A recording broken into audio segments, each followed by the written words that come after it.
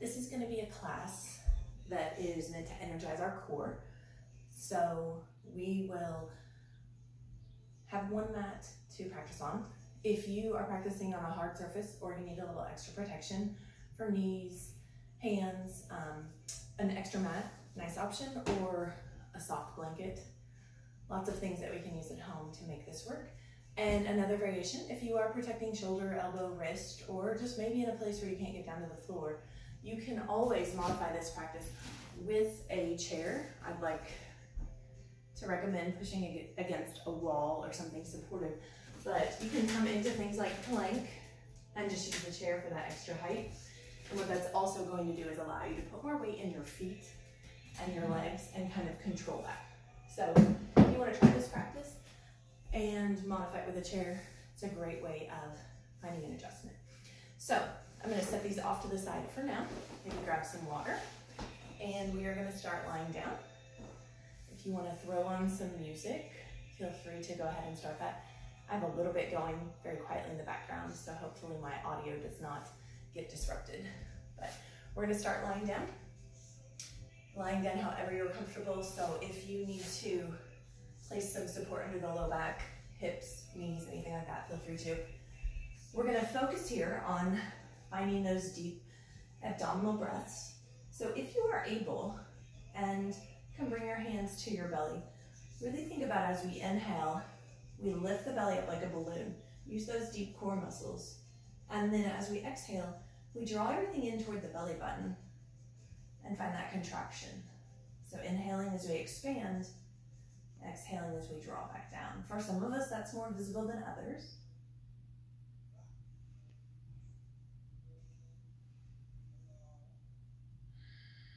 Let's do that a couple more times. Just try to create a little bit of fire in the belly to start here.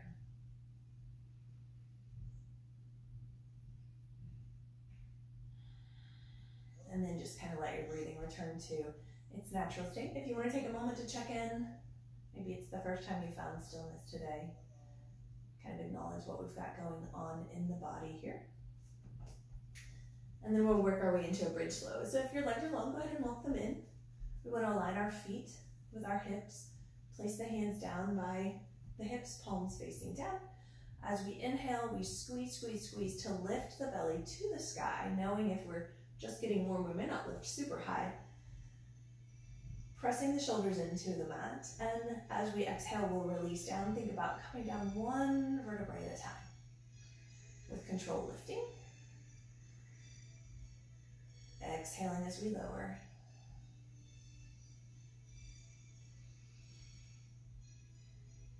We'll meet at the top, holding in that bridge A couple of breaths here, maybe interlacing the fingers, letting the shoulders connect to the floor.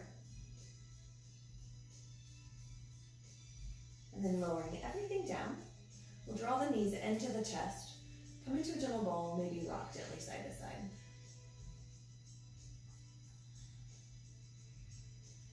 Then when you're ready, making our way to an all fours position. So if you'd like to roll to one side, press up, sweep yourself around, however is easiest for you to get there.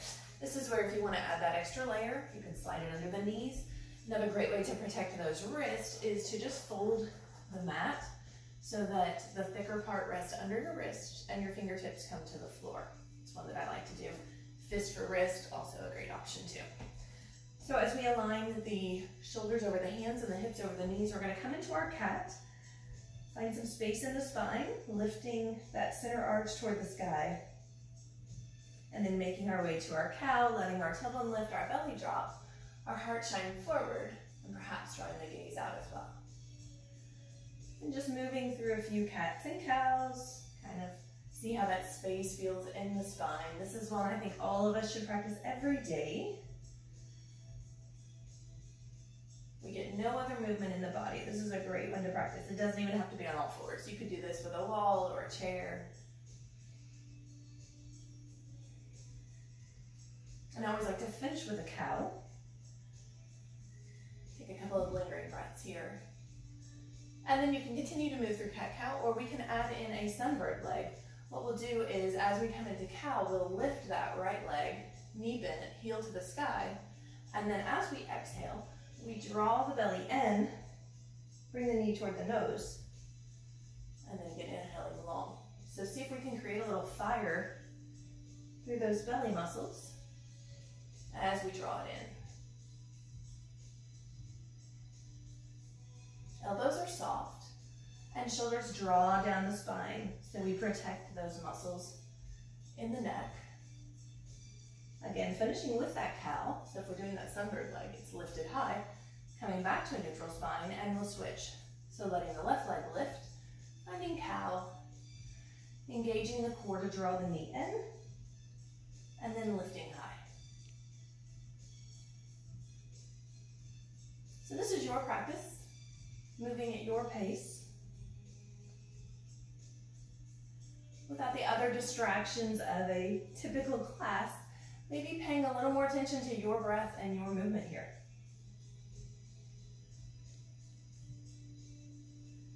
Finishing with our next cow. And then making our way back to all fours.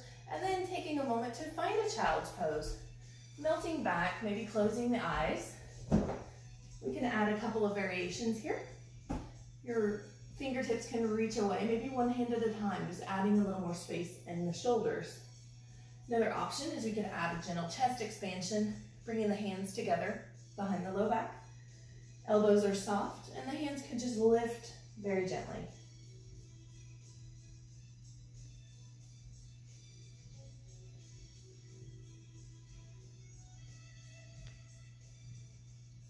We'll shake the arms out of it, find that release, and start to make our way into some core practice.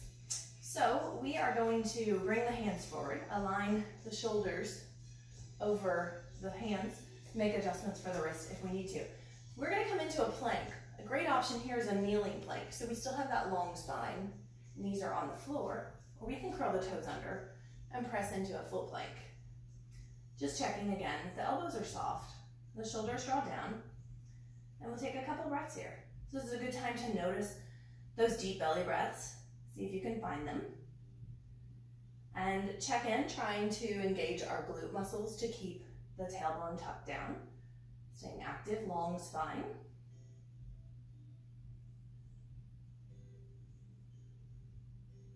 And then from here, we'll come into a resting pose. So the option of finding that child's pose, or perhaps we choose to go into downward facing dog. If we are there, we can take that option to pedal the heels out. And another variation, if uh, neither of those is your choice today, you want to find something else, we can find a down puppy, which is kind of a hybrid between the two. We have our hips over our knees, and we let the arms walk out, much like a child's pose, so we get that stretch through the shoulders without sinking all the way back into the heels. So those will be our resting options.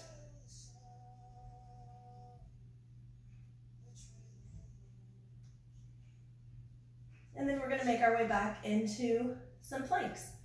So we will come to the all fours, starting with a kneeling side plank. I'm gonna put my left knee down. If you want that extra layer underneath there, you can find it. Left hand comes to the floor, fist for wrist, great option. Trying to stack shoulder right over the hand. And we can press the right hand into the mat. Right arm can lift tall. So we'll have several options here, you can play with them.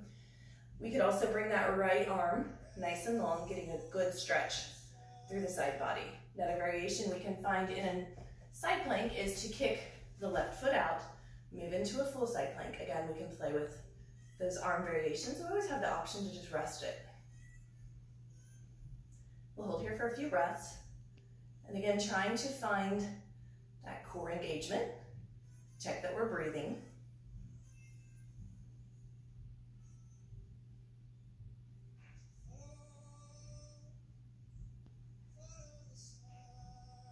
Big breath here, then we lower down. And then we're gonna switch sides. So I'm actually gonna turn because I wanna continue to face the camera. The rest of you can just turn to the opposite side of your mat. Weight comes into right knee. Feel free to add a little extra support or cushioning. Press into the left foot if you want. Arm can reach, or we can bring that right leg out and find our way into a full side plank. Play with those options. Listen to the body. Anytime we have weight in the arms, We want to keep the elbows soft because that helps us use the muscles in the arms and not just hang out in our joints.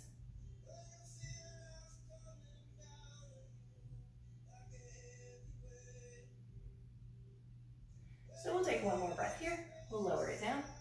And then coming all the way back into a uh, neutral position, an option to practice child's pose, down puppy, or downward facing dog. Take a few moments of rest.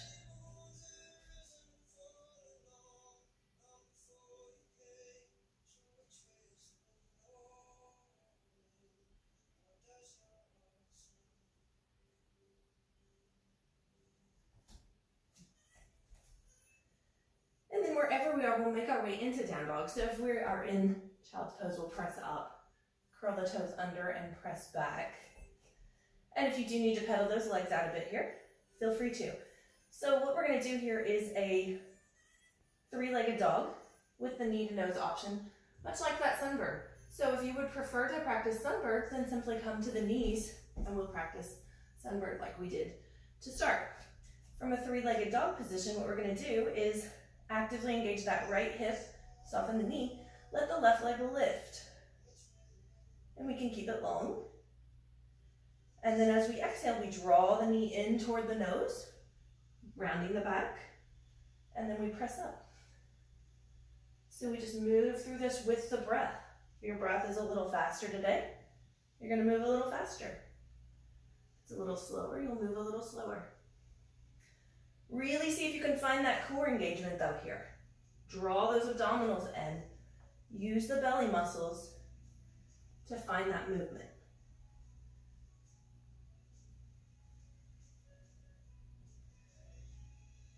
And then we'll take a moment to just extend that left leg, whether we're in all fours or down dog. Drop it down. Take a moment to find rest. Child's pose, down puppy, or downward facing dog.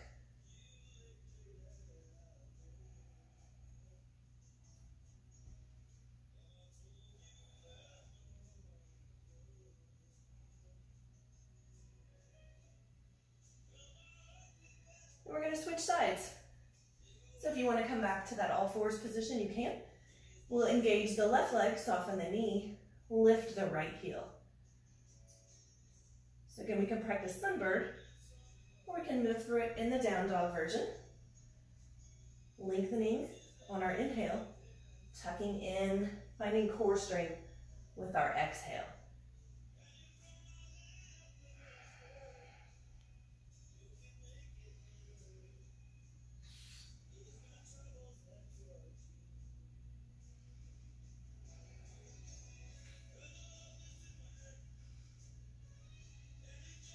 And then we'll find length and space through the right leg.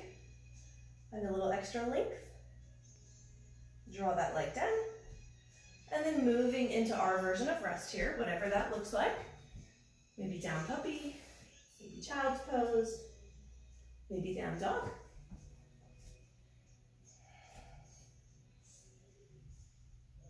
And our rest is our chance to check in with the breath, to find a little bit of stillness to notice what the body has to say here.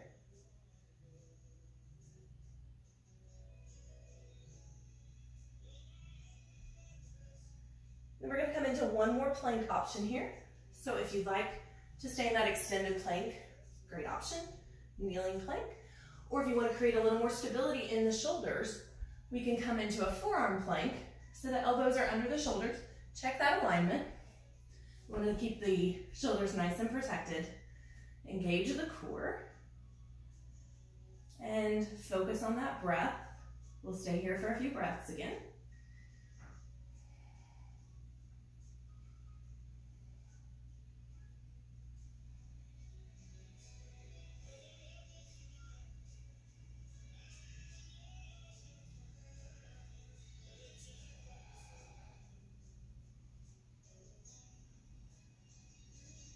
Two more inhales, two more exhales. And then if the knees aren't down, we will bring them down. We'll melt back, find child's pose. Take a moment to focus on stillness here.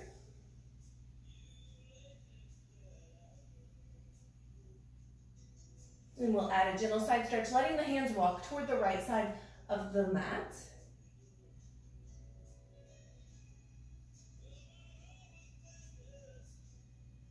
Come back to center, and then letting the hands walk to the left side.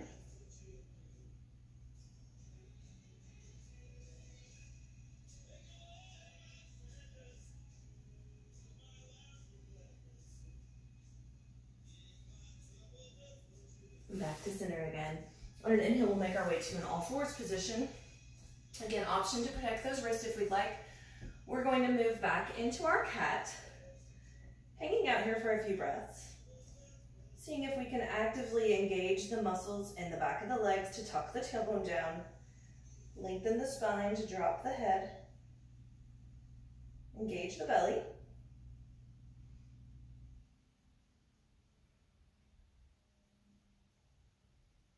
And then gently making our way into our cow pose. So start by letting the tailbone lift. As it rises, our belly will fall. Our heart will open. We can bring our gaze out in front. Again, trying to continue to deepen that curve in the spine.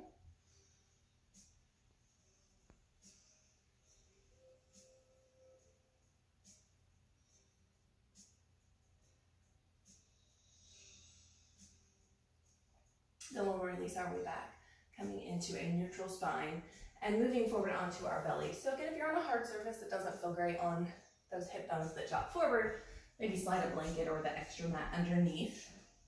As we come to our belly, we'll lift our way into our Sphinx. So if Sphinx doesn't feel great for you, an, another option is Baby Cobra. So the arms come out uh, a little wider than the shoulders, we can press the hands into the mat, but try to keep from putting much weight into them. So if you would lift your hands, you are still in that same position. We're tucking our tailbone down to protect our low back. If we'd like to practice that Sphinx, we'll bring the elbows under the shoulders, engaging the tailbone again, pulling the shoulders down the spine, and just inviting space through the upper back and neck as we lift up through the crown of the head.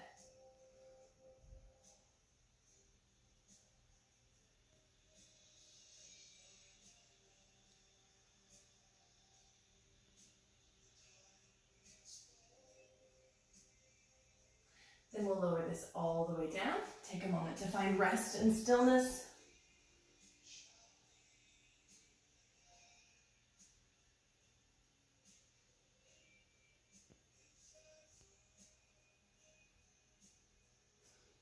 And then pressing the hands into the mat, making our way all the way back to a child's pose.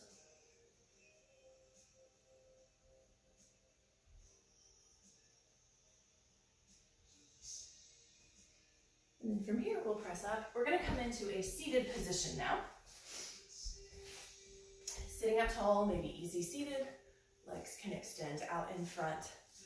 And just bringing that awareness into the breath again. If you're comfortable placing your hands there. If you're feeling a little tight through the low back, wanting to hunch, just slide an extra layer underneath yourself. And we are going to, again, focus on inhaling and expanding exhaling as those abdominals contract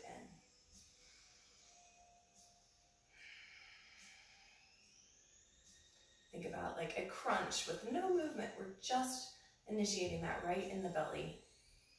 And for some people it is, it's a very visible movement. And for some of us, it's not quite so visible.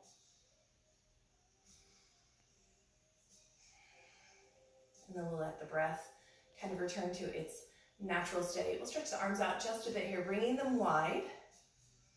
And then giving ourselves a hug, pat on the back. One arm over the other. Maybe let the chin fall to the chest.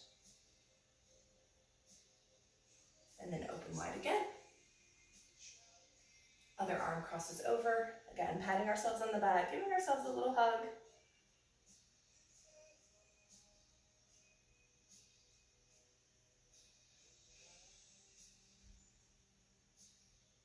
Arms open wide again. Big sweeping breath. With our inhale, we'll let the arms sweep up. With our exhale, we'll draw the hands into the heart. And as we close our practice, if you need to take a moment to find some Shavasana or just sit in stillness, feel free to. We close our practice with Namaste. Have a great day.